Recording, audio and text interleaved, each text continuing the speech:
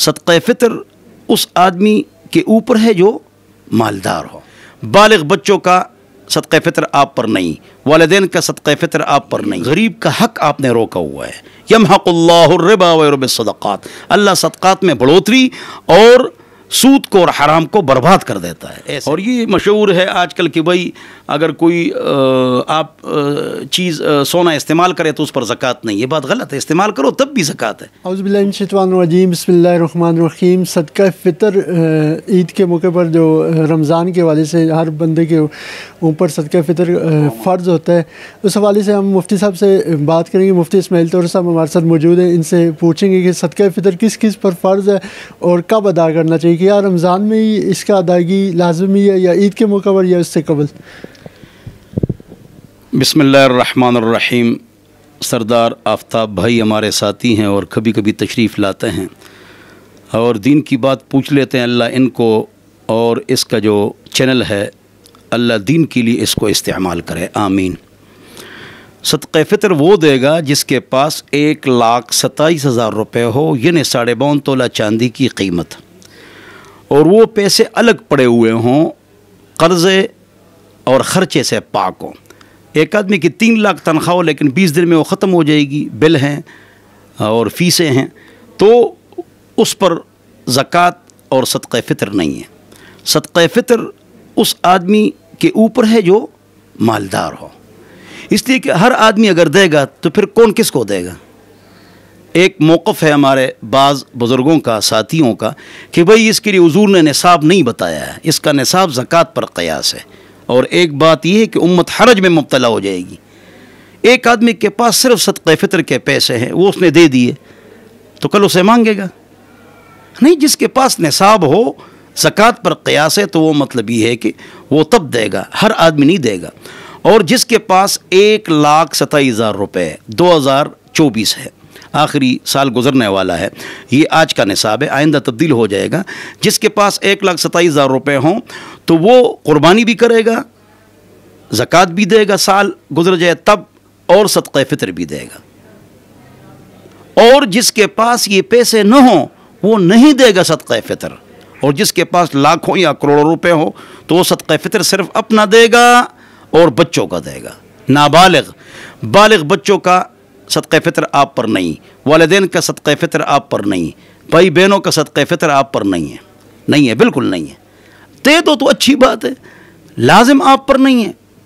तो ये है सदक़ फ़ितर, पहले दे दो अभी अभी दे दो। रमज़ान आ जाए तो दे दो, ताकि लोग शॉपिंग कर ले और गरीब लोग, उनके बच्चे हमारे साथ ईद में शरीक हो जाएँ।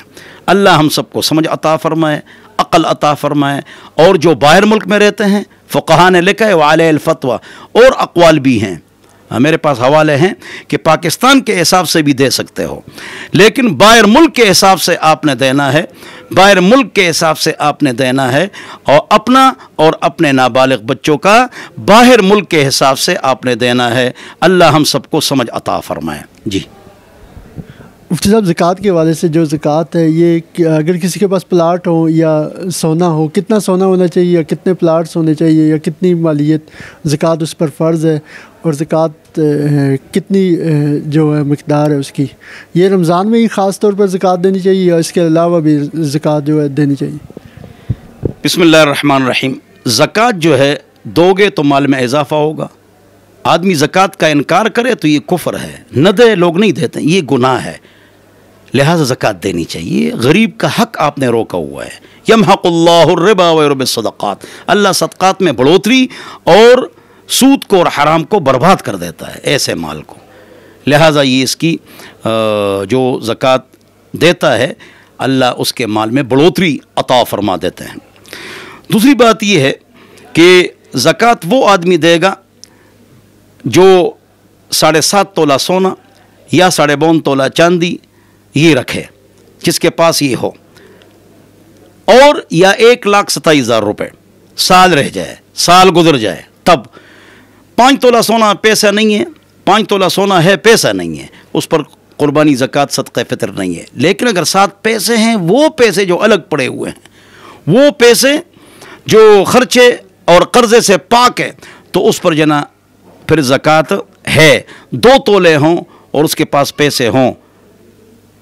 तनख्वाह के नहीं, ख़र्चे के नहीं, अलग लॉकर में बंद का खलक चपका। तो लॉकर में तो तब आपने मतलब ये है कि ज़क़़त देनी है। और पैसे साढ़े सात तोला से साढ़े सात तोला सोना न हो, बल्कि कम हो, लेकिन पैसे न हो तो उस पर ज़क़़त नहीं है। और ज़ाती प्लॉट पर ज़क़़त नहीं है, जिससे घर बनाओगे तुम ज़ाती गाड़ियों पर ज़क़़त नहीं है कारखाने और उसकी मशीन पर ज़क़़त नहीं है, प्रोडक्शन और ख़ाम माल, रॉ मटीरियल पर ज़क़़त है। और आपके पास गाड़ियाँ हैं, रेंट है कार की गाड़ियाँ उस पर ज़क़़त नहीं है, ज़ाती गाड़ियाँ उस पर ज़क़़त नहीं है, ज़ाती प्लाट है उस पर ज़क़़त नहीं है। और आपके प्लाजे पर और किराए के घरों पर ज़क़़त नहीं है, रेंट कार में गाड़ियाँ उस पर ज़क़़त नहीं है, उसमें ज़क़़त नहीं है। जो प्लाट ख़रीदोगे, बेचोगे, गाड़ी शोरूम में खड़ी है, ख़रीदोगे, बेचोगे, सामान, दुकान की ख़रीदोगे, बेचोगे दुकान की सामान पर भी है। दुकान की मालियत पर और दुकान की चीज़ों पर और गाड़ी पर और फ्रिज पर और एसी पर और शेल्फों पर नहीं है। जो सामान ख़रीदते बेचते उसकी कीमत फ़रोख्त पर जक़ात है, जितने की बेचोगे। सोना ख़रीदोगे, ज़्यादा पैसे लेते हैं, बेचोगे, कम पैसे लेते हैं, उस पर ज़क़़त है। हर चीज़ की कीमत फ़रोख्त पर ज़क़़त है। साल पूरा हो जाए, तब ज़क़़त है। शवाल में साल पूरा होगी शवाल में आप मालिक निसाब बन गए तो अगले शवाल में ज़क़़त दोगे। ज़क़़त, ये लोग रमज़ान में निकालते हैं, ठीक है, सवाब ज़्यादा मिले। तो फिर आपने ज़क़़त के महीने को आगे करना है, इसको पीछे नहीं करना है। इसको भी आप समझें। ज़क़़त बहन, भाई, चचा, मामू, कज़न, ससुर, सास, बहू, दामाद को ज़क़़त दे सकते हो। और आठ अफराद को ज़क़़त नहीं दे सकते हो। सैयद, मालदार, काफिर, नाबालिग बच्चा, वालदेन, बच्चे, मियाँ बीवी को, बीवी मियाँ को नहीं दे सकती। ये आठ अफराद को ज़क़़त नहीं दे सकते हो। और ज़क़़त देते हुए बताना भी ज़रूरी नहीं कि ये ज़क़़त है। ज़क़़त पाँच हज़ार, दो हज़ार देते हो। तो अपने भाई बहन को सबसे पहले ज़क़़त दो। भाई बहन चचा, मामू, कज़न, ससुर, सास, बहू, दामाद पूपी खाला। लेकिन उनके लिए कोई काम रवाना करो। रेडी लगाओ, कारोबार उनका लगाओ। पाँच हज़ार दे दोगे बीस दिन में ख़त्म हो जाएगा, फिर क्या करेगा? मैं तो रेडियाँ ख़रीदता हूँ, गरीबों को देता हूँ। आप भी इस तरह करें। गरीब को आप और मदारस को भी दें। और जो करीब आपके हज़रत के नाम है, नेक अल्लाह वाले, और वो मीशत उनकी कमज़ोर है तो उनकी भी इमदाद फरमा लें। रिश्तेदारों में जो दीनदार हो, उनको ज़्यादा आप फोकस दें। तो बहरहाल ये ज़क़़त के मसाइल हैं। जो जानवर बाहर चरते हैं, अक्सर साल उस पर ज़क़़त है। घर में अगर लाखों जानवरों बाहर नहीं चरते हैं उस पर ज़क़़त नहीं है।